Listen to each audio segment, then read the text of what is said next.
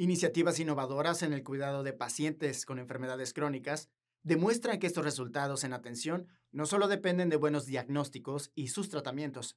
sino también la forma en la que se construye, se organizan y se gestiona la asistencia necesaria. Con esto en mente, se busca una evolución en la atención de personas que viven con VIH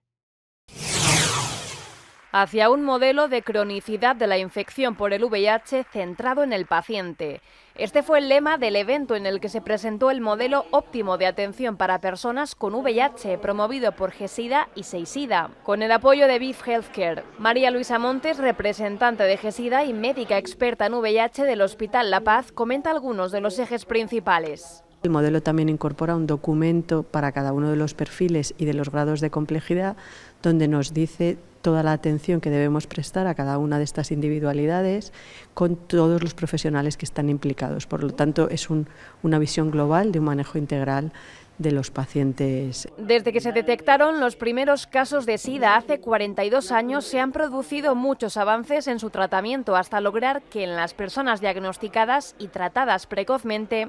la esperanza de vida se aproxime a la de la población general. El presidente y la directora ejecutiva de Seisida, José Antonio Pérez Molina y María José Fuster, profundizan en la relevancia de un modelo de atención personalizado. El principal es conseguir que nuestra atención genere calidad de vida percibida por parte de las personas con VIH. No es tanto que les demos un tratamiento estupendo, que tenemos muchos, eh, que les prevengamos pues, de los problemas eh, cardiovasculares, etcétera. Todo eso hay que hacerlo, pero de alguna manera tenemos que conseguir poner al paciente en el centro para que la percepción de esos cuidados realmente impacte positivamente en las personas. Pero hay toda una serie de factores, tanto del contexto como de la propia infección, que hace que tengamos una predisposición mayor a ciertas comorbilidades y vamos teniendo también ciertos problemas asociados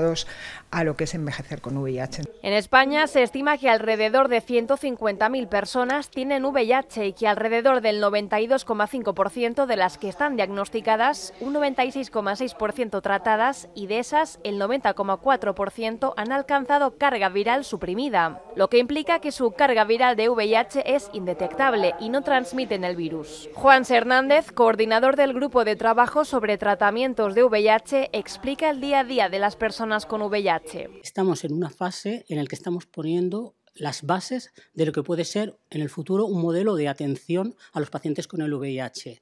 Eh, todavía se va completando el puzzle de lo que va a ser la atención integral y centrada en la persona. Entonces, ahora mismo se han desarrollado toda una serie de herramientas para poder eh, avanzar hacia esta atención integral y centrada en la persona, pero todavía faltan elementos importantes para que esto sea así y principalmente, sobre todo, que se desarrolle